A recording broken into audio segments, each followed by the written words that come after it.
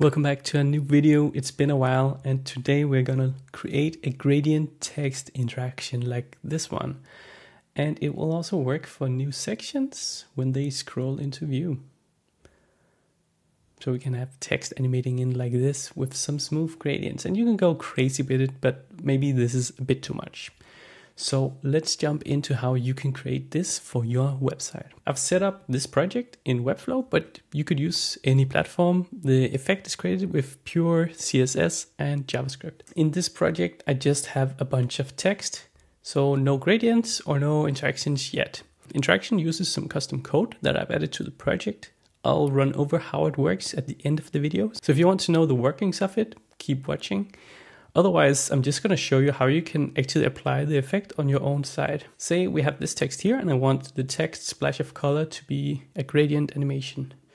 I'll create a span around it first. So I'll wrap it in a span. In this span, I'll give a class. So I call the class TLG gradient dash green. I've set the code up so it looks for the classes that have a name that start with TLG gradient. So here I'm implying that this gradient should be green. So I'll move down here to the gradients. We'll create a new gradient for the text. I'm gonna turn it on the side because I'll be moving it from left to right.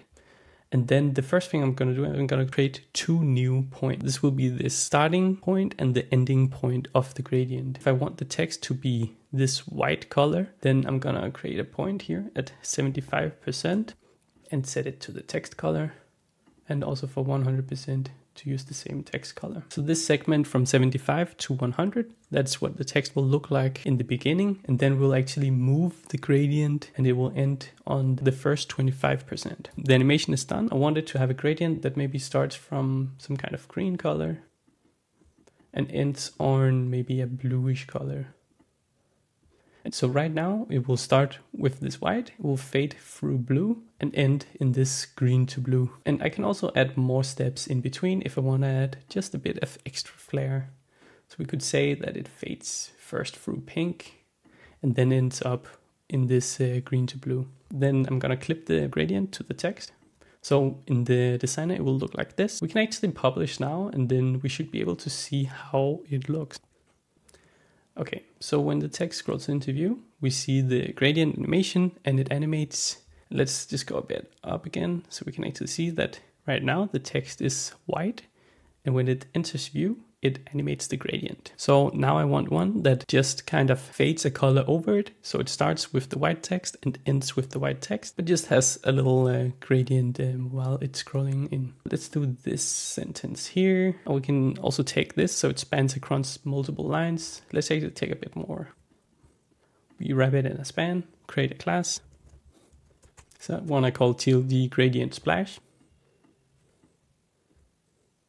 Okay, so here, of course, I want to, it to start with the text color. So put this one on 75%. This will mean that the last 25% is the white color that we want. The starting point, I'll also put the text color and I'll put it on 25%. So it'll also end on the white. And in between here, I can just add whatever colors I want. So let's add some colors.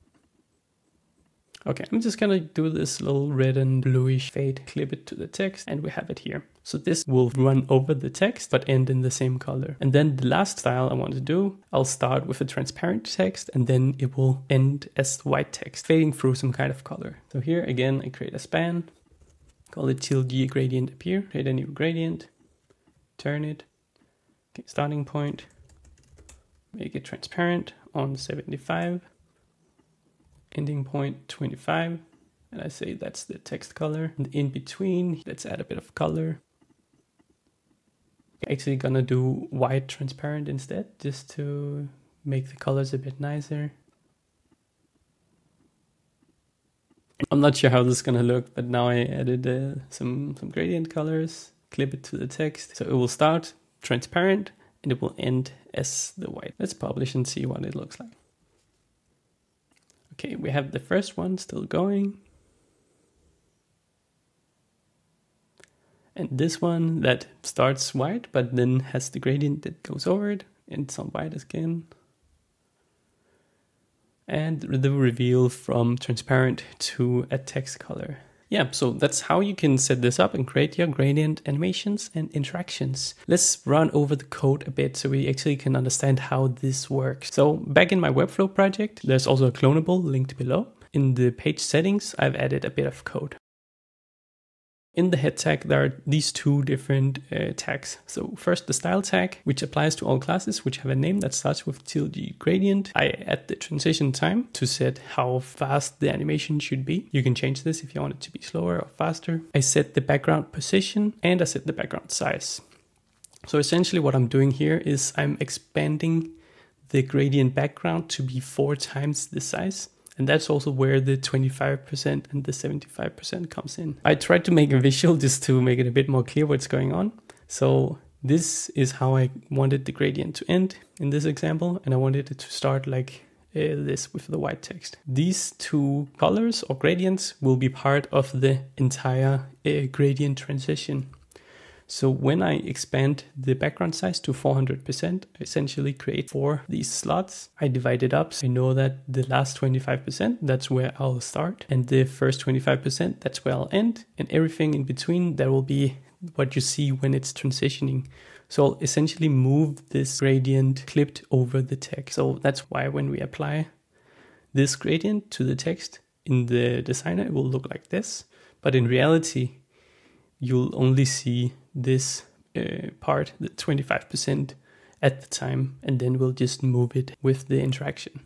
And that is the next part of the code. We have the script tag here, waits for the page to be loaded, finds all of the elements with the TLG gradient class, and then we create an intersection observer that will trigger when 80% of the element is visible. So when the element is visible, we'll animate the background position to 0%. So we'll move the background from left to right. When it goes out of view, we'll move it back. That's basically the interaction. And because we just set this with inline styling, it will apply with the um, transition time that we set with the other CSS. There you have it. This is how you can add a bit of splash of color to your website with this interaction.